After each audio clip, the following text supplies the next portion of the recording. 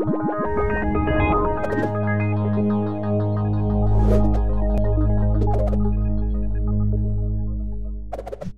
what's up? My name's Dustin, and I'm a developer and technical evangelist here at Treehouse. Today, I want to take you through setting up a gulp file for your project or app. But what exactly is gulp? Well, gulp is a JavaScript toolkit to automate and enhance your workflow. But what exactly does that even mean? Have you ever taken a look at someone else's code and noticed that everything was minified? Or maybe you just took a look at their style sheet and saw a ton of prefixers in there. Surely the developer didn't write that themselves, right? More than likely, they used something like Gulp to automate that stuff for them. Gulp is pretty powerful, and today I want to take you through setting up your first Gulp file. It's actually pretty simple. Take a look at the teacher's notes or description of this video to get a link to our GitHub repo for this project. While this will be a step by step guide, if you get stuck at any time along the way, you can refer back to this repo to look at the code. Additionally, you can check out teamtreehouse.com forward slash blog forward slash gulp file dash setup for a written version of this tutorial, which is also a step by step guide. I would like to note that in order to understand this content comfortably, it's recommended that you have a basic understanding of JavaScript as well as Node.js and NPM. Links to these resources can be found below in the teacher's notes or description of the video. So let's get started. The first thing I'll do is set up a folder on my desktop. You can create this folder anywhere you'd like. I'll name it gulp file setup and then drag it to my text editor. The first thing we'll want to do is download all of our dependencies for this project via NPM. And the easiest way we can do that is by opening up a terminal and creating a package.json file for us. You can do this by running npm init-y. And it'll basically spin up a boilerplate package.json file for us with everything we'll need to get started. Next, we'll want to install our dependencies, but doing so will create a node modules folder, which is going to be full of many, many files and folders. So we'd want to ignore this we can create a .gitignore file and inside just write node underscore modules. And should we track this project with Git in the future, it'll ignore this folder for us. We can close out of that file and head back to our terminal, and we can begin installing our packages. We can write npm install followed by our package names. For this project, we'll use gulp, gulp sass, sass, gulp clean CSS, gulp auto prefixer, and gulp terser. Once you have that typed out, just press enter and your terminal will begin installing these packages for you. This process shouldn't take very long, and as soon as it's finished, your package.json file should update with a list of all your new dependencies and their version numbers.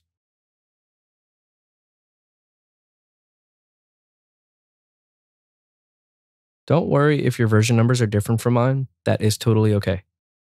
So let's go over these packages briefly. The Gulp package will give us access to all the things we need with Gulp. Gulp Sass as well as Sass will compile our SCSS to CSS. Our Gulp Clean CSS will minify our CSS. And Gulp Auto Prefixer will automatically add our prefixers to our code. And lastly, Gulp Terser will minify our JavaScript. Next, let's close out of our terminal. We won't need that for now. And the next thing we'll want to do is create our actual gulp file. And we can call this gulpfile.js. And then press enter. And I'm going to move my gulp file to the right of my text editor so that I can see my package.json file. And I'll also close my Explorer window so that I have a little bit more space to work with. The first thing we'll want to do inside of our gulp file is destructure some things from the gulp package itself. So we'll destructure the source, which I'll spell SRC, the destination, DEST, series, and watch. And these will require gulp. Next, let's set up our variables for our SCSS auto prefixers and minifying our CSS. We can name these variables anything we'd like, but if you're following along and haven't used gulp before, it's probably a good idea to use what I'm using here so that you're not confused along the way. Our first variable we'll call SCSS, and it will require the gulp Sass package, which requires the Sass package. And this will compile our SCSS into CSS for us. Next, we'll want to set up a variable for our auto prefixer. So we can call that auto prefixer, and it will require gulp auto prefixer. And this will automatically add prefixers to all of our compiled CSS. And lastly, we'll want to minify our CSS. So we can set up a variable for CSS minify that will require gulp clean CSS. And now we have all of our variables we'll need for our styles. So let's work on our scripts next. Scripts will be easy. We're just going to minify our JavaScript. So we can set up a variable for JS minify, and it requires gulp terser. And now we have all the variables we need. We have SCSS, auto prefixer, CSS minify, and JS minify. So now we can set up a function for our styles as well as a function for our scripts. We'll do function styles, and we'll leave it empty for now. And then we'll write function scripts, and we'll also leave that one empty for now. I'm going to close out of my package.json file because we don't need this anymore. But next, we should set up our directory structure. So in the root of our project, I'll set up a new folder and I'll call it frontend. And inside of frontend, I will set up another new folder and I'll name that one SRC, which is short for source. And then I'll set up one more folder inside of frontend called dist, D-I-S-T, which is short for distribution. Inside of the source folder, I'll create a folder for our styles, as well as a folder for our scripts. And now we have our basic folder structure that we'll need to get started with Gulp. Now we can begin to work inside of the functions that we created. Inside the styles function, we'll want to return. And what we're returning is the source. Basically, the source is going to be a path to where we want to look for these changes so that we can apply our compiler, our auto prefixer, and our minifier. So inside of the source, we'll type in front end forward slash source forward slash styles. And we want to grab every folder or file in this path that has a .scss file inside. And we can do that by writing asterisk asterisk forward slash asterisk .scss. Now that we have a path to our styles, what we want to do now is call those variables that we set up as methods. And we can chain this on to our source by typing dot pipe as a method. And inside of that, writing out our variable as a method. So SCSS will compile our SCSS to CSS. Then we can dot pipe auto prefixer, which will take that compiled CSS and add prefixers to it. And then lastly, we can pipe on CSS minify to minify the compiled CSS with auto prefixers in them. And we used our SCSS variable, auto prefixer variable, and our CSS minify variable. The last thing we'll want to do is once we grab our source and make all those changes, where do we want to put the file? So now we'll use the destination package that we grabbed from Gulp earlier. And we can chain that on by doing another dot pipe. And the first method in there will be dest. And inside of that, we just give it a path to where we want to place the file.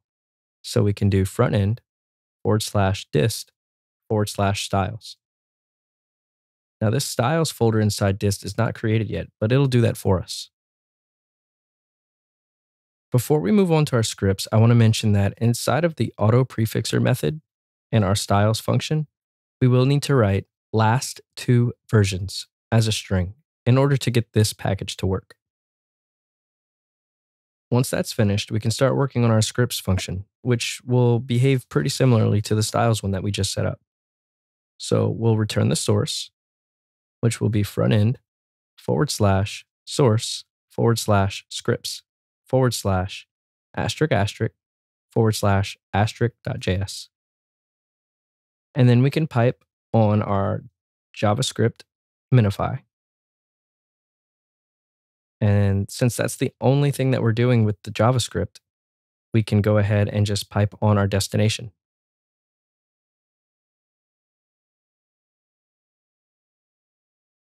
The destination for our JavaScript will be front end forward slash dist forward slash scripts. And that is it for our scripts and styles functions. If you're used to JavaScript, you'll know by now that these functions don't actually do anything until we call them. So we'll need to set up a watch function to watch for these changes in these files and then run these functions. So we can call this watch task. And next we can call our watch method that we grabbed from gulp earlier. And this method will take two parameters. The first is a path to the files that we want to watch, and then what we want to do when a change is detected. Since we're watching the styles and the scripts, we can set these file paths up in an array. So the first item in the array will be the source to our styles. And the second item will be a source to our scripts. So I'll copy and paste those there. I'll add a comma, and our second parameter will be running the styles and scripts functions. And the way that we can run both of these is by using the series package that we got from Gulp earlier. Series is just a method that can run multiple functions at once. So we can write series and then call our styles and scripts functions inside. And we don't have to include the parentheses on these. So just make sure that you write series and then the name of the functions inside. And that's going to be it for our gulp file. The only thing left to do now is to export it. So we can do that by writing exports.default equals and we'll do series again to call all of the functions that we created styles, scripts, and watch task. And now our file is complete. We called the watch task function, the scripts function, and the styles function, which use all the variables we set up. Now that our gulp file is complete, you can save it and we can open up our package.json file. We'll need to be able to call the gulp file somehow, so this is how we can do that. Under scripts, you can erase that test that is in there and we can replace it with start. And inside the start command, we can run npm install and gulp. npm install will just install all the dependencies should you clone this project from a repository. Gulp is the command that'll actually run our gulp file. So once that's saved, you can close out of everything and open up your terminal. Inside your terminal, you want to run npm start, which is the name of the command that we just set up. And then your terminal will begin running your gulp file. And it should look pretty similar to what I have here, where it calls the styles, scripts, and watch task functions. Inside of front end, source, and then styles, let's create a new file. We can call this app.scss. And we could write some standard CSS in here.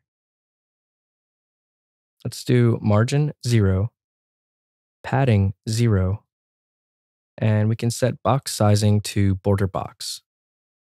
We can hit save and you'll notice the terminal update. And now inside of front end and dist, we have a new folder called styles with an app.css file in there and everything's minified. And if you look closely, you'll see some prefixers in there that were handled for us automatically. Pretty neat, right? Let's test our JavaScript and see if that minifies for us. So back inside of front end and source, we'll set up a new file inside of our scripts folder and we'll name this app.js. In here, we can set up a variable that's equal to an object. Let's call this user. We'll give it a name of John Smith and we'll set his age to 50.